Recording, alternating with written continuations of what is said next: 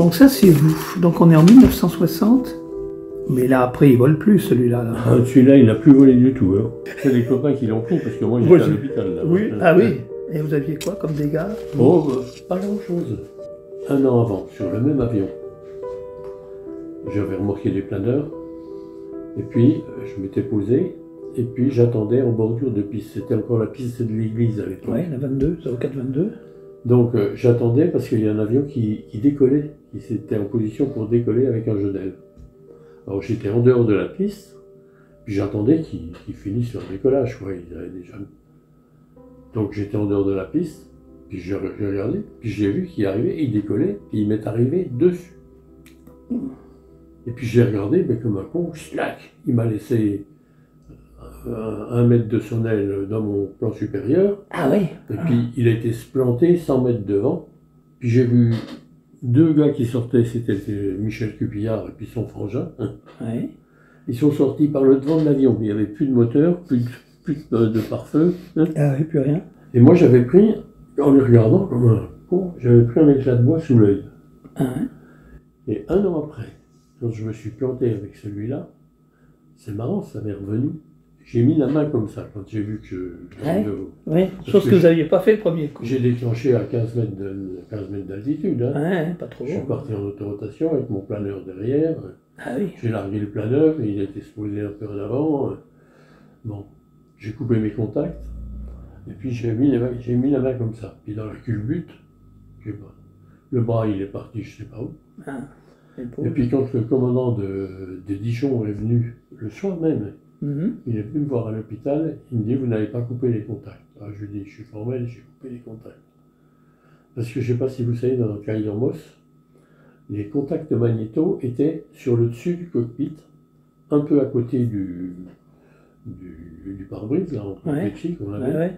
était Pardon. sur le côté, il y avait magnéto 1, magnéto 2. Des deux petits bitards, euh, bon, comme ça. Ah, tout petit, oui. Hein Mhm. Il faisait magnéto 1, magnéto 2. Et il me dit, vous n'avez pas coupé les contacts. Je lui dis, je suis formel, j'ai coupé les contacts. Mais il n'y a que le lendemain, j'ai vu, j'avais les, Les deux trous. Les, les deux marques. le même espace. Donc dans la culbute, le bras, il a dû passer, Ouais. je sais pas où, quoi. Il a remis les contacts. Et il a remis le contact. Il y avait le siège avant, parce que j'ai été voir après. j'ai- Quand je suis arrivé à l'hôpital, j'ai dit, mais est-ce que les ceintures ont lâché ou est-ce que j'ai dégrafé les ceintures? Parce que vous savez, il y avait comme ceinture, on avait, Oui, deux, deux bretelles. on avait les bretelles, on avait la cuissade et puis l'entrejambe. Ah oui, il y avait ça, oui. Et tout ça, ça, ça venait sur un truc central. Ouais. Et pour ouvrir, on, on, on On ouvrait, les- le tout. on ouvrait le, le total en même temps. Et je n'avais pas le souvenir d'avoir ouvert ça. Parce que dans la culbute, je me suis retrouvé encore. J'étais quand même assis dans l'avion. Je m'étais pris le, le dessus du cockpit. Mhm. Comme ça, parce qu'il y avait un bourrelet en mousse théoriquement qui n'avait jamais été remis. Mhm. Donc je me suis pris le contreplaqué comme ça. Et le contreplaqué était enfoncé. Mhm. Contreplaqué de 10 mm. Hein. Mhm, mhm. Il n'était il était pas cassé, mais enfoncé. D'accord. Et maintenant, les ceintures étaient euh, décrochées normalement. euh, donc, euh, Ah l'instinct. hein, on Ouais, c'est ça, ouais. et- ouais.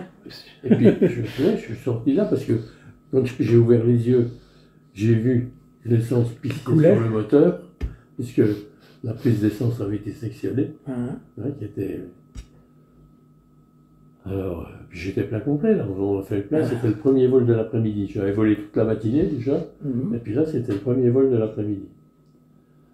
Et donc, j'ai eu qu'un désir, c'est de foutre le camp de l'avion.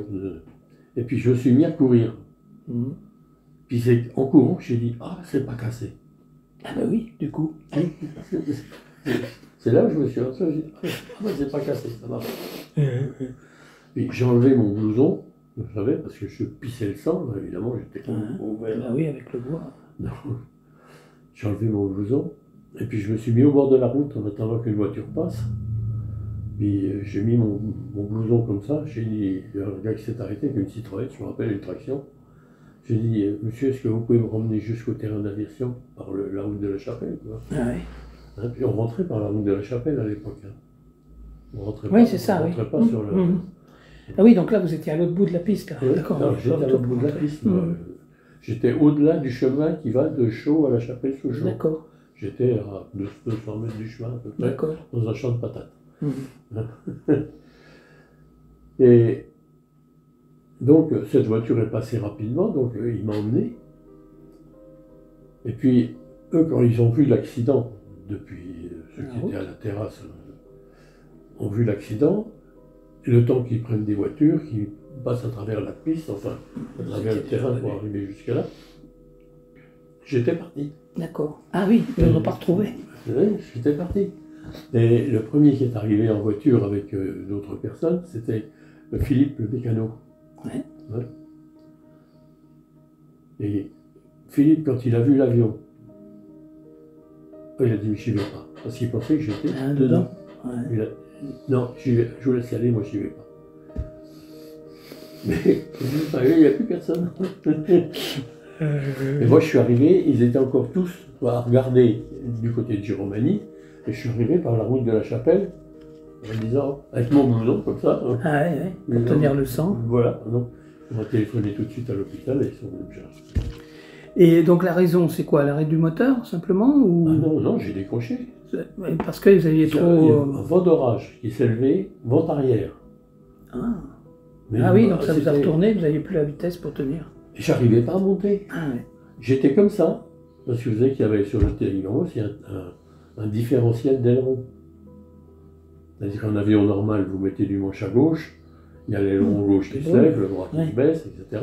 Là, vous mettiez du manche à gauche, il se mettait au neutre, et l'autre se baissait. Ah bon? Et c'était un truc anti-vrille, en principe. Ah. Enfin, moi, je suis anglais, hein. Mais Ce qui prouve que... Mais moi, à 15 mètres, et je ramais comme un malade. J'arrivais pas à monter, j'étais plein pot.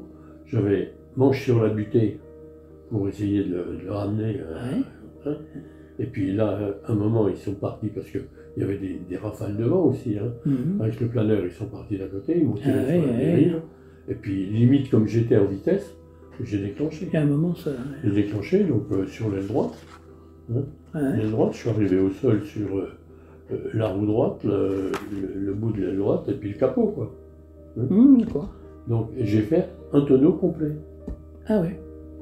C'est pour ça que j'ai ramassé les, les quatre plumes. Hein. J'ai même bousillé un peu la dérive. Si on le voit mais la dérive, euh, le gouvernail de profondeur est- a été. Je, je suis passé d'eau, je pense que, Ah ouais, ça a tapé. je pense que ça a tapé, quoi. Et alors, vous êtes resté combien de temps à l'hôpital? Bon, trois jours. Trois jours Trois jours, ils m'ont refissé, c'est le docteur Schuchman qui m'a Ouais. refissé, là.